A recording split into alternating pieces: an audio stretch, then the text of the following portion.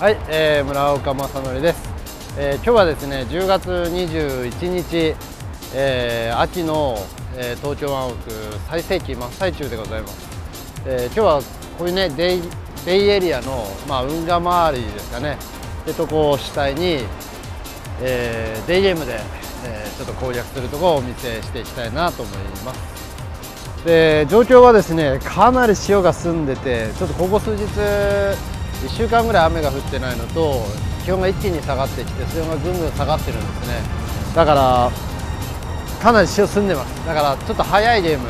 それからレンジが下のゲームになるんじゃないかなという感じでちょっと早速まずストラクチャー打ちですね。橋脚の、シェード要は潮が澄んでる時っていうのはあのまあ、当然こう隠れる場所が少なくなるので橋の下に入りやすいんですね魚が。から橋をちょっとまず今日一発目打ってみたいと思います。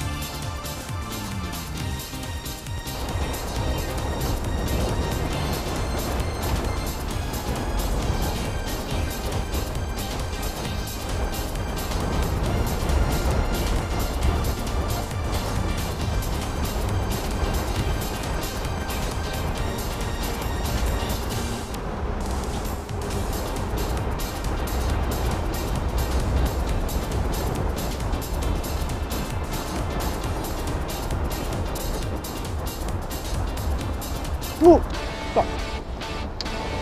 追ってきましたね。よし。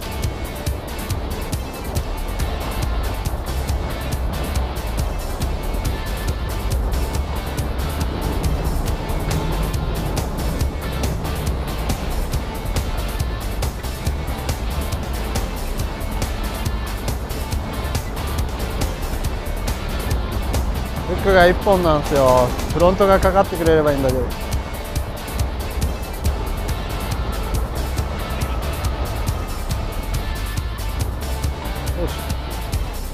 あ大丈夫大丈夫。ああもっとでかいのが来てたね。あれは70あるな。ダメかなと思ってチャチャってこう最後ピックアップしたらあのいわゆるピックアップバイトでやっと食ってくれたって。小梅ちゃんやってくれました。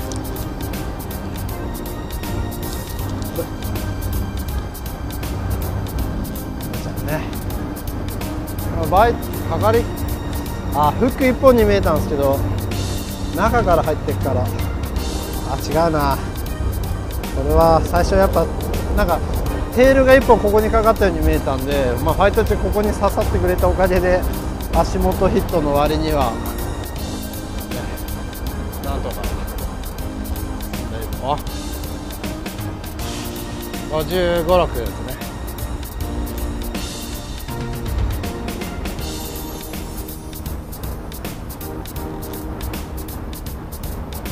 願いします。多分あの辺のどっかについててダートしながらついてきてもうここまでここで食いましたね。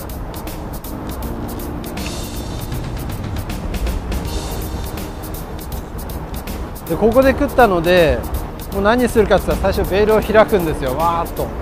で感覚を出さないとこんな感じでかかってバシャバシャバシャって言ったらまず10本中8本外れちゃいます。だからかかったらバーッとブレーキブレーキあの多分映ってると思うんですけどベールを返してきた糸全部出して余裕作ったらすぐドラグを緩めてとりあえずもう沖に走らせるんです。で、まあ、ここはゴロタがありますけどあの巻かれちゃうようなものはないのでしばらくはちょっと犬の散歩っぽく。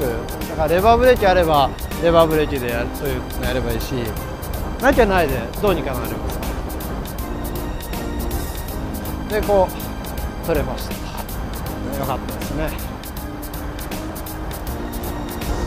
そうあのー、今ねまあ釣れたんですけどなんていうかなとにかく潮が澄んでるの。もうこの秋一番澄んでるんですね。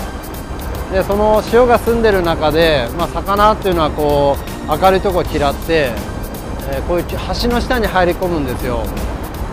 で橋の下に入り込んで、えー、理想を言えばその新聞がギリギリ読めるぐらいの暗さっていうのをイメージしてもらった感じですそういうら辺の水深か暗がりの奥で明るい方を見ながら待ってるんですね。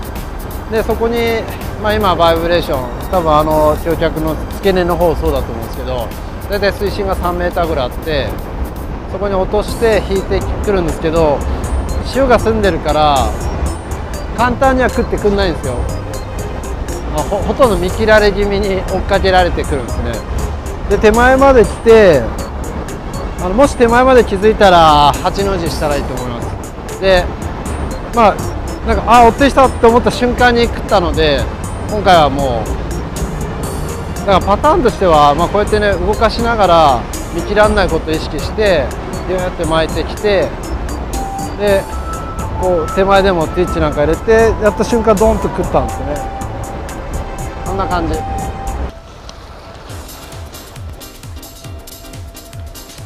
釣れそうだね。反対側から投げた方がいいね。先下だからね。この橋の下ちょっと打たないで後で反対反対側からやけどあの橋脚ガードですね。あれだけはこっちで蹴りをつけて。ああこっち打ちたいけど反対側まで反対側に行くまで我慢ここでかけても取れないんですよ。取り込めないね。その辺その多分一番暗い側の壁際についてそうですよ。今日のこんだけ潮住んでたら。一応あそこ相当真っ暗ですからね。ぐらいかねなんとか。いやこっちのねこっちシャローなんですけどバイブレーションだとスローに弾けないので相当今暗くなってきたから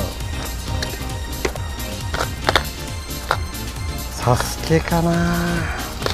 ビータかな。ビータだろうな。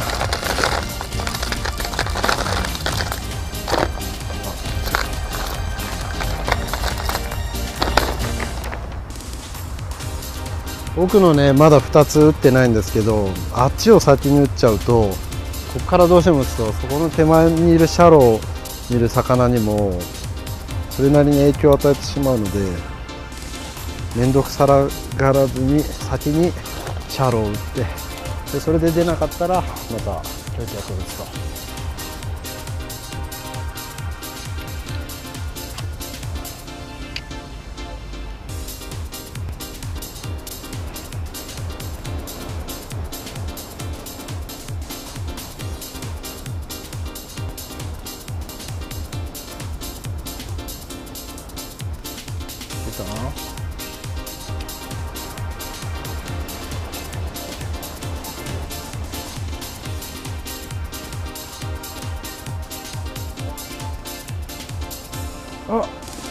っちゃいのがいる。ちっちゃいのがいるな。30センチぐらいだから。あいつは無視でかいのもいると思うんだよね。ああくねえか。ちょうど一番壁際で1.3メーターってことかな。もうちょちょうどいいところですね水深よし食ったよしよしよしよしよしよしよしダートで食いましたよあちっちゃいな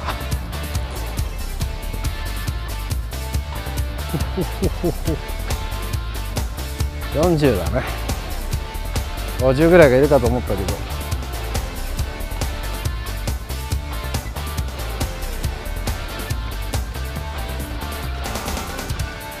うわ超フック一本よいしょ。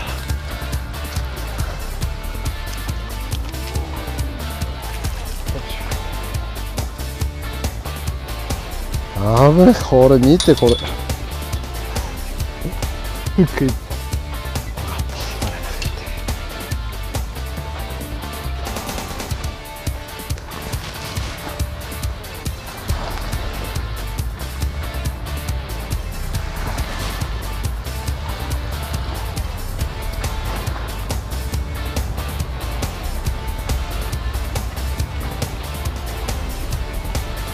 たねやっぱシャローだったね。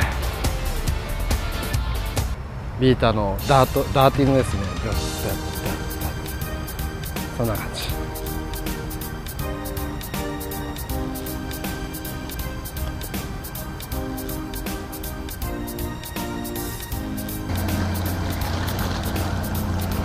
やば引き波が来る。引き波が。元気ですね。わお。バッチリですよ。よいしょ。はいえーと今ねそこでちょうどもう車両より若干離れたところですね。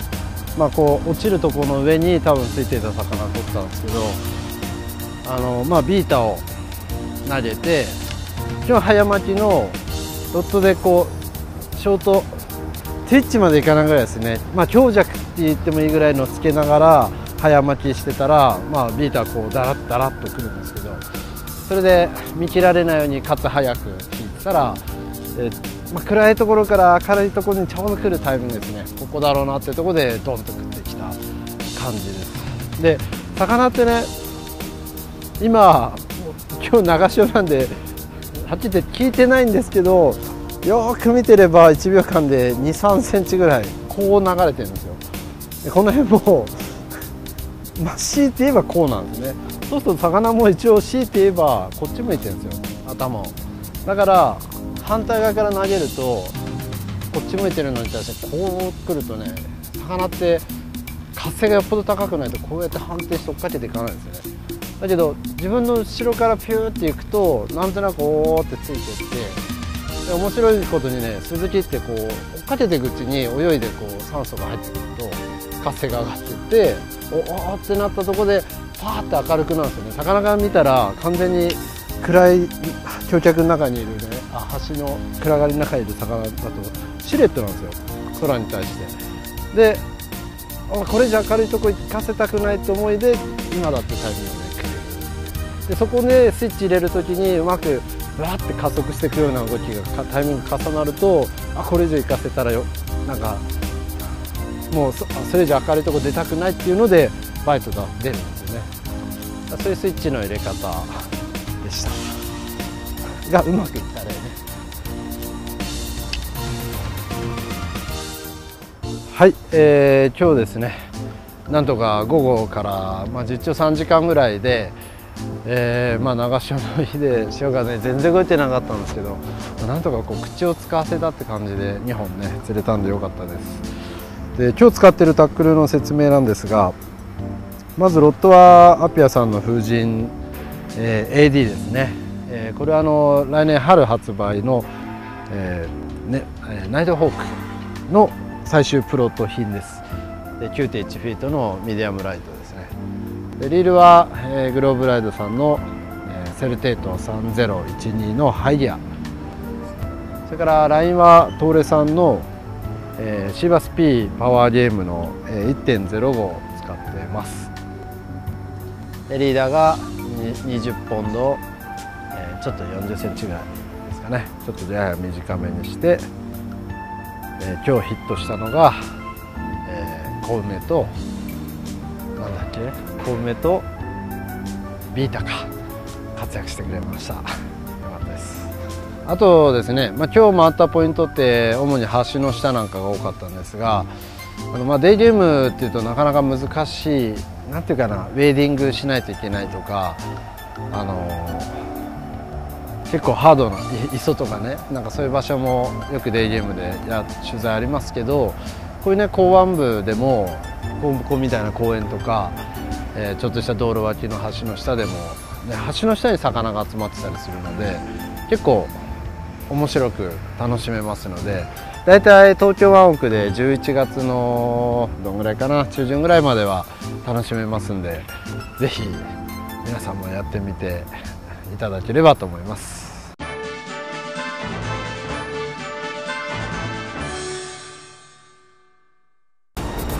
理想を言えばその新聞がギリギリ読めるぐらいの暗さっていうのをイメージしてもらった感じでそういうら辺の水深か暗がりの奥で明るい方を見ながら待ってるんですね。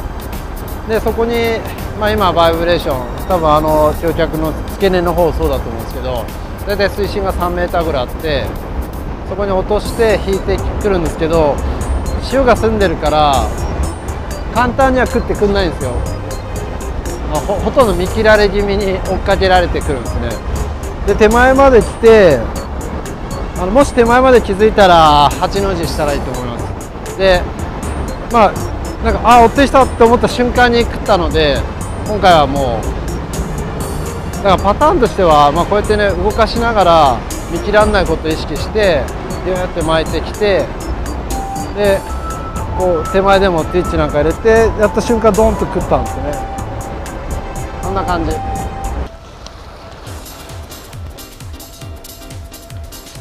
釣れそうだね。反対側から投げた方がいいね。先潮だからね。この橋の下ちょっと打たないで。あとで反対。反対側からやけどあの橋脚ガードですね。あれだけはこっちで蹴りをつけて。ああこっち打ちたいけど反対側まで反対側に行くまで我慢です。ここでかけても取れないんですよ取り込めないねその辺。その多分一番暗い側の壁際についてそうですよ。今日のこんだけ潮住んでたら。一応あそこ相当真っ暗ですからね。それでしたねなんとか。ちのねこっちシャローなんですけどバイブレーションだとスローに弾けないので相当今暗くなってきたから。サスケかな。ビータかな。ビータだろうな。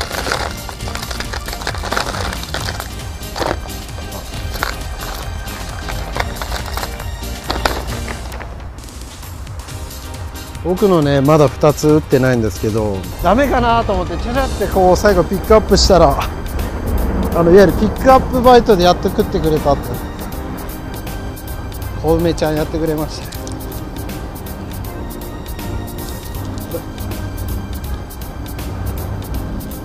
ね。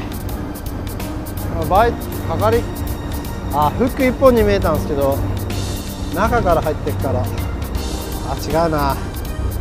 これは最初やっぱなんかテールが1本ここにかかったように見えたんで、まあ、ファイト中ここに刺さってくれたおかげで足元ヒットの割には、なんとか。55、6ですね。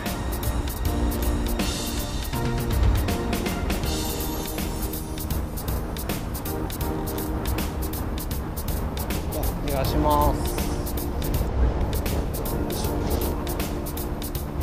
多分あの辺のどっかについててダートしながらついてきてもうここまでここで食いましたね。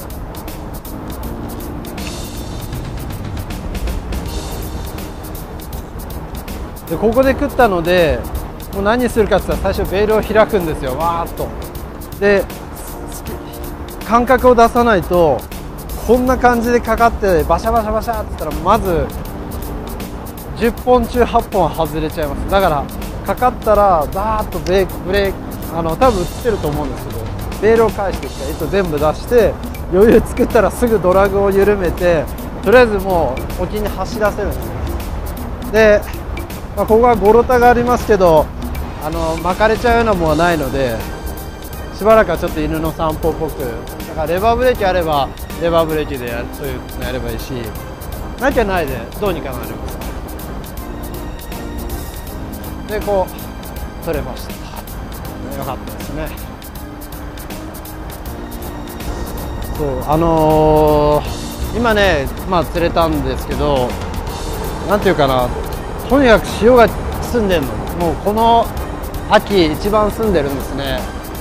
でその潮が澄んでる中で、まあ、魚っていうのはこう明るいところ嫌って、えー、こういう橋の下に入り込むんですよ。で橋の下に入り込んで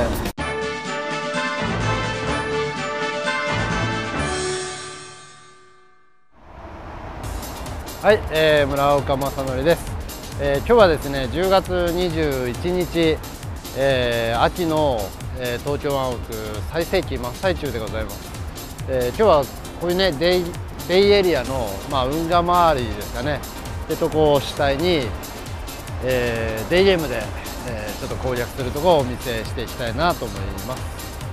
で状況はですねかなり潮が澄んでてちょっとここ数日1週間ぐらい雨が降ってないのと気温が一気に下がってきて水温がぐんぐん下がってるんですね。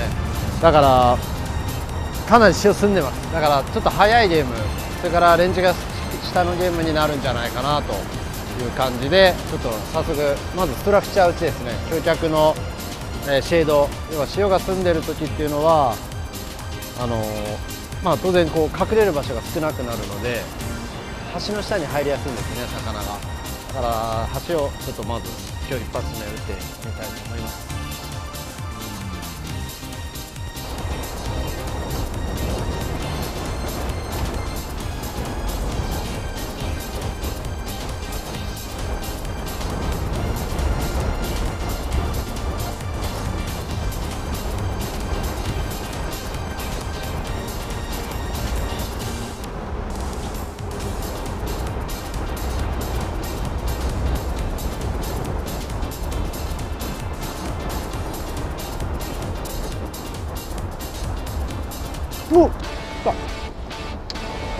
ってきましたね。よし。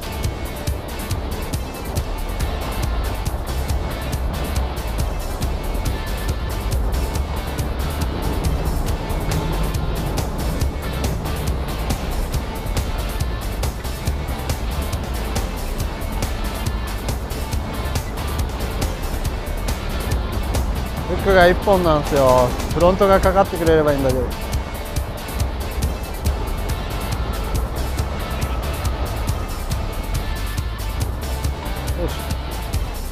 あ大丈夫大丈夫。ああもっとでかいのが来てたね。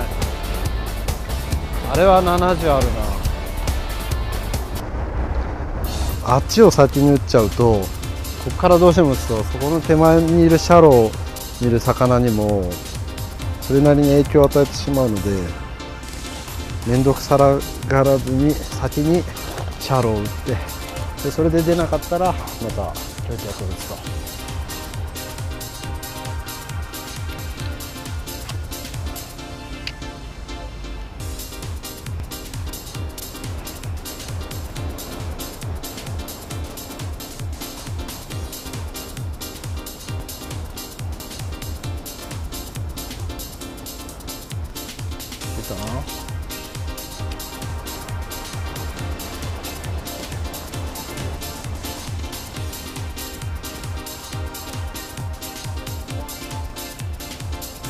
ああちっちゃいのがいる。ちっちゃいのがいるな。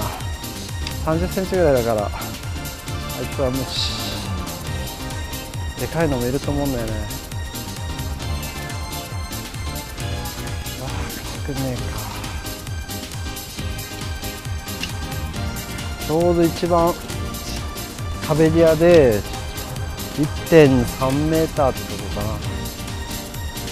もう。ちょうどいいところですよね水深よし食ったよしよしよしよしよしよしよしダートで食いましたよあちっちゃいな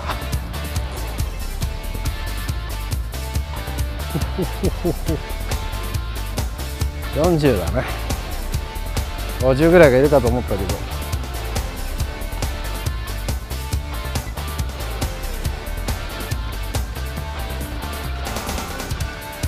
うわ超フック一本。よいしょ。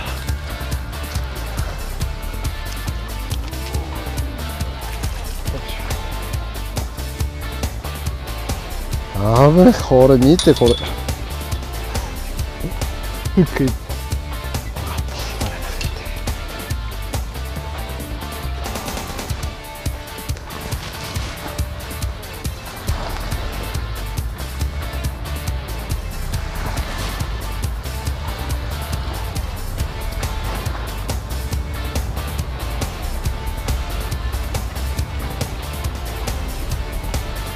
たねやっぱシャローだったね。ビータのダートダーティングですね。そんな感じ。